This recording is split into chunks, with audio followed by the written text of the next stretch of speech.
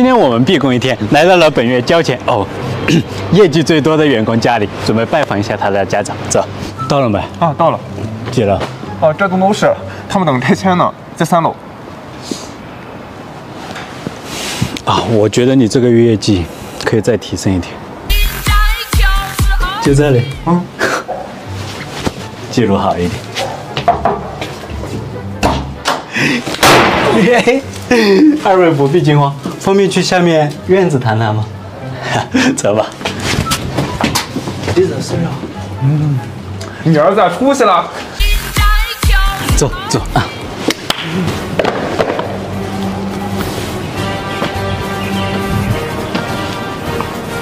感谢你们的儿子选择了我司，为公司带来巨大收益。拜。感谢父母为公司做出了优秀人才。再拜。哎，把礼物带上来，孝敬爸妈。这是我让你儿子买的曼迪洗发水，可以强韧发质、逆晒有型。我平时也用这个，不过前两天用完了。啊，应该是你儿子用完了。不过一家人谁用都一样。你儿子放心，你儿子交给我，不仅教他学会了技术，还赚到了他的钱。更重要的是，教会他为人处事的方式啊。儿啊，你好好跟着你老板，他有心了。啊，不客气啊，不送不送，我们走了啊。小东，什么时候发工资啊？小杜，嗯，实习生是吧？嗯，来坐这。嗯，实习多久了？一年了。啊。说长不长，说短不短。你看你旁边那个实习小张，三年了，他有主动来给我要工资吗？可是，来你听我说，嗯，不知道你有没有听过一句话，叫做“吃得苦中苦，方为人上人”。我在你这个年纪的时候，大学才毕业，我也特别想去大城市闯出自己的一番天地，但又怕家里人担心。你猜我怎么办？我就熬夜打游戏，打到凌晨三点才出门，但还是被我妈撞见了。啊，别灰心，听我继续说。她问我这么大半夜出门干嘛？我看也瞒不住了，就实话告诉了他。当时我们就牵着我的手，像这样跟我说：“你有钱坐车吗？怎么去啊，孩子？你在家白吃白喝了这么久，你要去就走着去啊！你不要，真的，一百五十公里的路，我硬生生走了过来，兜里一分钱都没有。那你怎么？别打岔，我知道你想要问什么。是我饿了七七四十九天，一个人都没求过。”啊，也没偷没抢啊！直到到了目的地，我饿得实在受不了了，就看到一个卖烧饼的摊子，我就问那大妈能来一个烧饼吗？然后呢？然后他以为我要买一个烧饼，说五毛。你认为我有吗？但一个人想要成功，脸皮能薄吗？我就说我忘带了，大妈当时就翻了白眼，说没钱吃你。放松放松，我也受不了啊！我听了脸一下就红了。立刻拿起一个烧饼，咬了一口，那大妈啪，拿起和面的水，就往我脸上泼。我没给他计较，扯平了。当晚我发烧四十二度，自己挺了过来。所以说，你靠别人不如靠自己。即使别人不发工资，你也能活下去，你就是真正的成长。男儿有泪不轻弹，明白就好。下去吧。现在下午一点，带员工自费去上海玩了一圈，在外面看花了眼，回来无精打采的，准备换个政策，让他们收收心，先给他们吃点家乡特产，激活他们遥远而美好的回忆，再带他们充分体验山城特色，爬爬山，跑跑步，来一场酣畅淋漓的锻炼。小调皮们，来个套餐补充体力啊啊！套餐五百，最后再带他们体验夜文化，越夜越美丽。给他们留下难忘的回忆，凌晨之前必须做完哦。当然啦，劳逸结合也很关键，让他们白吃儿可不行，就把睡觉的时间抠出来，加倍干活吧。上班摸鱼，扣二吧。那我辞职。哈，可以啊，你先把这个月欠的工资交一下。祝你好运吧。做老板嘛，就是要精明一点，学会防患于未然，突发事件才能稳如泰山。这个推屏吗？这个呢？用手写吧。你好，我来面试，请坐。经常听我儿子提起你。您儿子是？今天收到一位粉丝求助，他说网恋了一个女生三年，夸张，最多几个月。所以他想委托我把这封信和这些礼物送给他。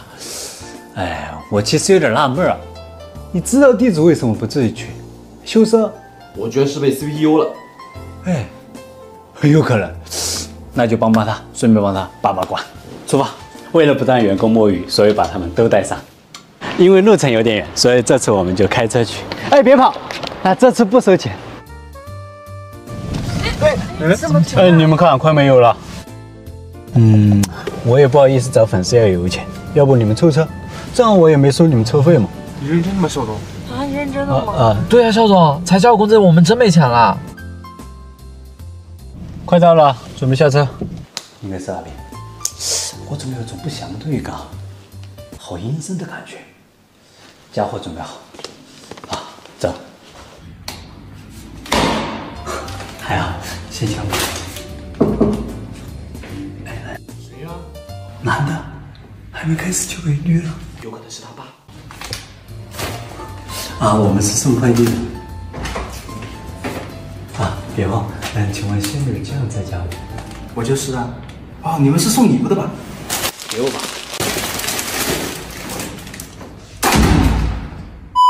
很多粉丝网暴我说我这么大个老板，为什么不帮他们实现一些小小的愿望呢？因为我是刘万基啊。不过今天有空就看看吧，合理的愿望咱们该帮就帮。看看，我喜欢一个女生好久了，不过我长得不是很好看，没有自信去表白。肖总能支点招吗？啊，这个容易啊，我来告诉你怎么办。其实这个就是你还没睡醒吧？呸，别做梦了，死心吧。好看下一位追梦人，校总，我没钱吃饭了，能不能微我五十？好人一生平安。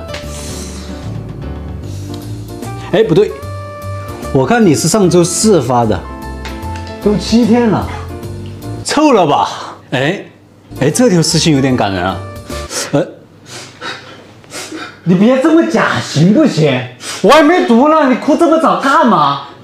先别哭啊！肖总，你是重庆人吗？我好想念重庆啊！两年前因为工作原因离开了重庆，工作忙也抽不开身，女友受不了异地也和我分了。以前他还给我寄点特产的，哎。最近刷到校总又怀念重庆的味道了，听完你有什么建议？我的建议是别介意。哎，你，你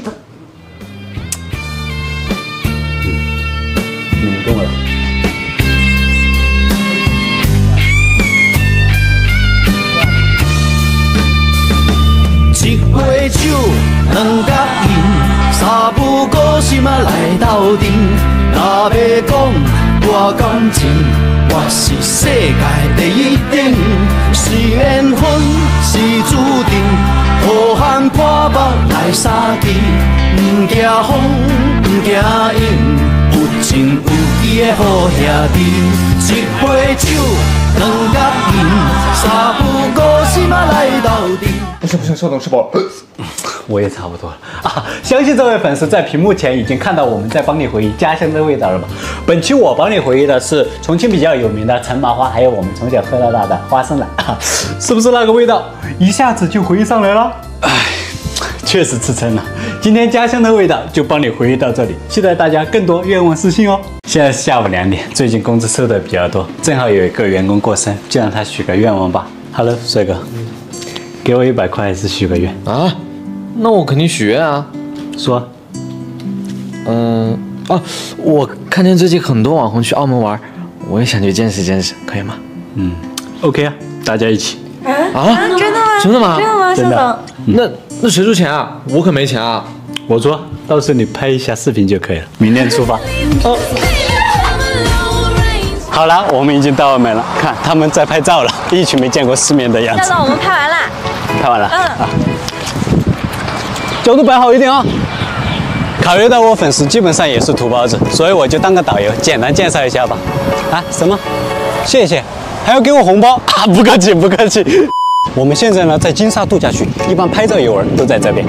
你看这些一座座不同风格的建筑，有点串色的感觉，但还是非常宏大的。而它们里面的分布可以说都是一样的。总的来讲，一楼是赌场，往上走就是酒店和商场。不同的地儿，不同的风格。比如我身后这个就叫巴黎人，建筑风格也是法国那边的感觉。巴黎人对面呢就是这伦敦人。哇，真气！好了好了，他们又没交钱，看这么仔细干嘛？哦。现在呢，我们来到了人气最旺的威尼斯，这外观没有前两个宏伟，但里面的惊艳程度绝对闪爆你的合金眼。已经进入商场了，看映入眼帘的就是赌场。哦，对了，虽然赌博在澳门合法，但这些赌场都是有赌牌的，你可以理解成营业执照。没有赌牌的赌场一样是不合法的。好了，因为里面不允许拍照，我们就直接去楼上的商场，看是不是很惊艳？小天兵们都走不动道了，真的是好看。他挖条运河也就算了，它上面还弄个天幕，它营造那种傍晚时分威尼斯的感觉，那逛起来就特别的惬意。